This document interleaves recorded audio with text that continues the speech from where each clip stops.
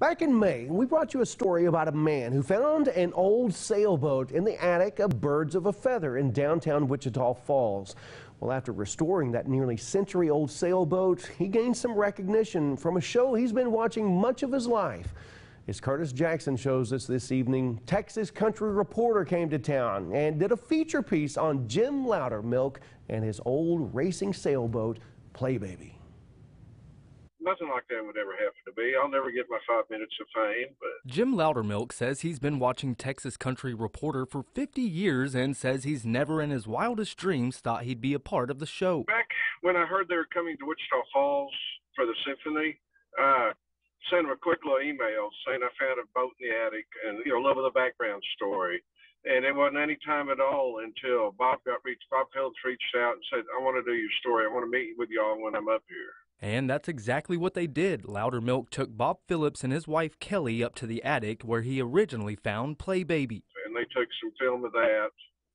And I think they were amazed by it, just that it's been sitting upstairs since 1942. Never been used, never been restored, and just and how it got up there, we still don't know. Loudermilk hopes by grabbing the attention of the longest syndicated running show in the state, their piece grabs the attention of someone interested in Playbaby. I've started my next wooden boat project, and so I'm running out of room. So if I don't know, I'd like to find somebody that would enjoy it, use it like it's supposed to, or display it.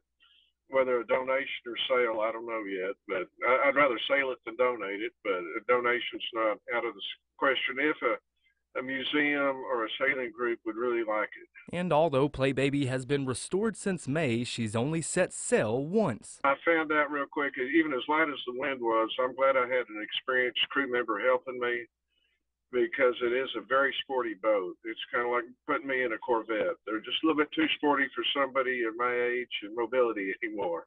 And who knows, maybe one day Playbaby will set sail once again. Curtis Jackson, KFDX 3 News.